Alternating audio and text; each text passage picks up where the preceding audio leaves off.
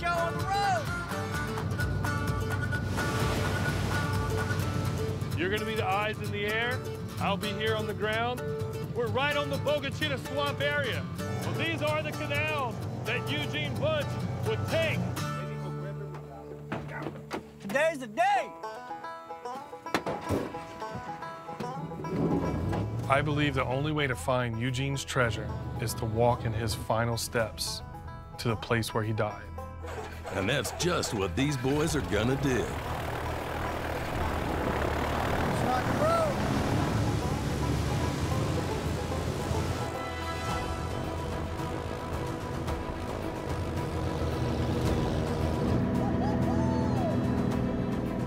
Now, when you got miles of ground to cover looking for treasure,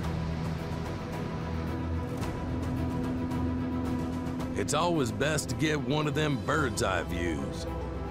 It's in this lake. I'll find that boat. It may take me a little while, but I'll find that boat. Man, Lord, Willie's in the boat. And no one knows that better than the swamp man himself. Yeah, the damn boat's drifting away with Willie in it. Especially if you're trying to find something that means the world to you. Hope nobody done back there find that boat and uh, drove it home.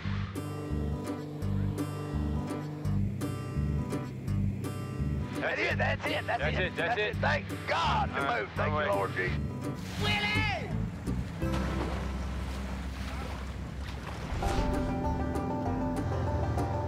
And just like the swamp man, Brandon and Dre are hoping to find something that could mean the world to them, too.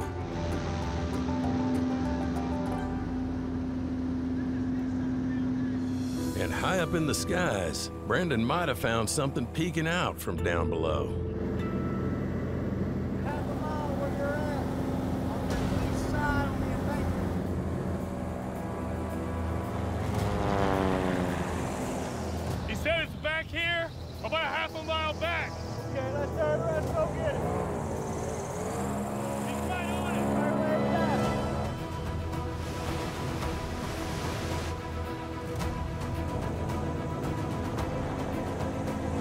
Right here.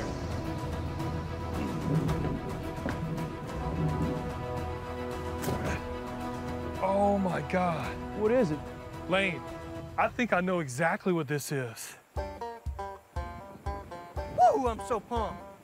We'll pull this thing out of the mud.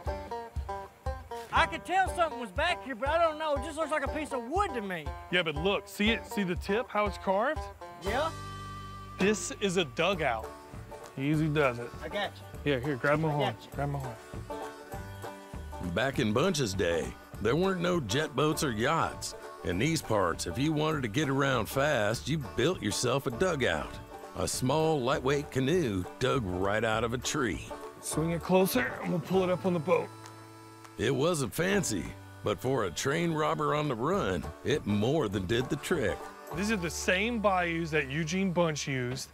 The swamp is right over there. The hollows are not far. This is the exact kind of boat. what Eugene Exactly. Get out. I'm telling you.